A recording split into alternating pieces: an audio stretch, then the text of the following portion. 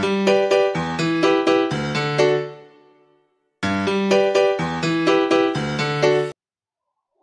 all, you are watching Simulink tutorial and today we are going to discuss MBD interview questions part 3. So let's start with today's video. So the first question is the difference between enabled and triggered subsystem. So both are atomic subsystem but how they update blocks inside them differs. So the enable subsystem. So when enable condition when it is greater than 0 it will start updating once the signal is 0 or less than 0, it will either hold or reset the output based on this selection that is states when enabling held or reset.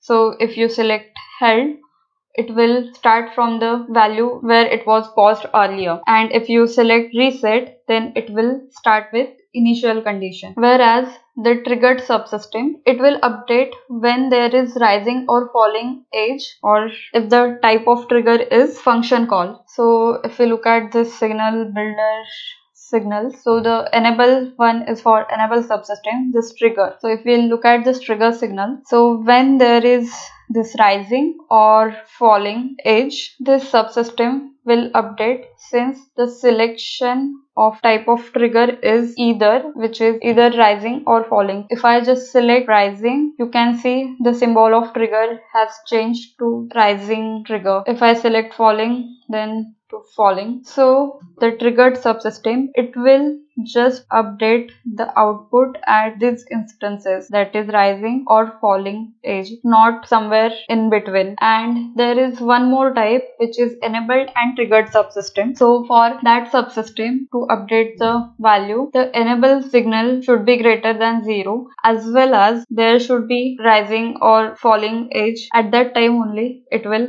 update. So i hope this difference is clear. I'll just simulate this model and we'll see what is the difference between the output. So all subsystems have just a simple counter design inside them okay?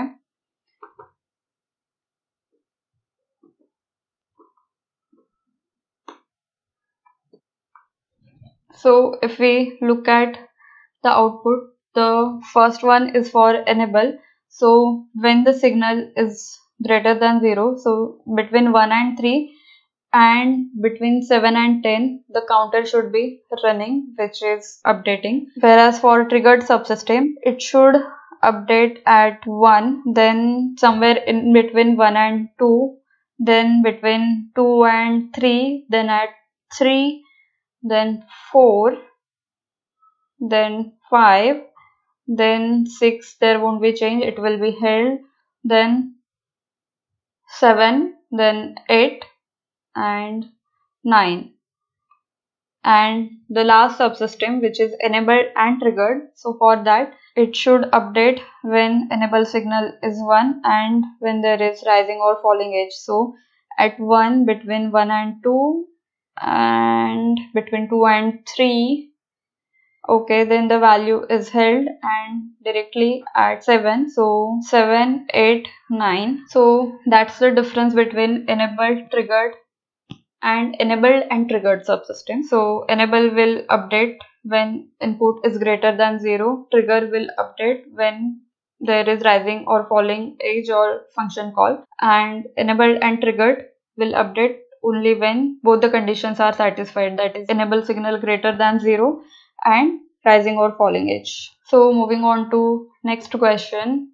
The next question is to describe different actions in a chart. So I'll load this model. So for a state, there are three actions which is entry, during and exit. So when the state is entered for the first time, the entry action occurs. After that, during in the next sample time and let's just say there is one more state and now it will become active. So while exiting this state, the exit action of that state will be executed. So for a state, there are three actions entry during and exit. But apart from these three actions there are two more actions which are transition action and condition action. So what is the difference between these two actions? So the condition action which is this one it takes place when the condition is satisfied whereas the transition action it takes place only when this transition occurs so in this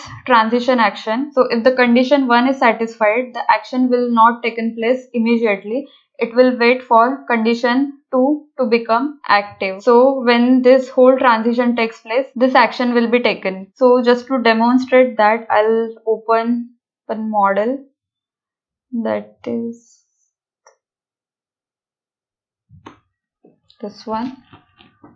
So if we look at the logic inside it, it is state 1 is up count, state 2 is down count, in state 1 the target value is set to 0 and this is a transition action so when count is greater than or equal to 5 this target value equal to 1 will not be set immediately so when the count is greater than or equal to 10 this whole transition will complete and then this target value will be set whereas for condition action when the count is decremented to less than or equal to 5 this target value equal to 3 will be set immediately. So let's just simulate this model and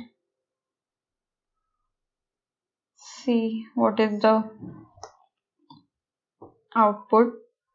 I'll just zoom in. So if we look at it, when the count is greater than or equal to 10, then only this target value will be set because then only this transition will take place from state 1 to state 2.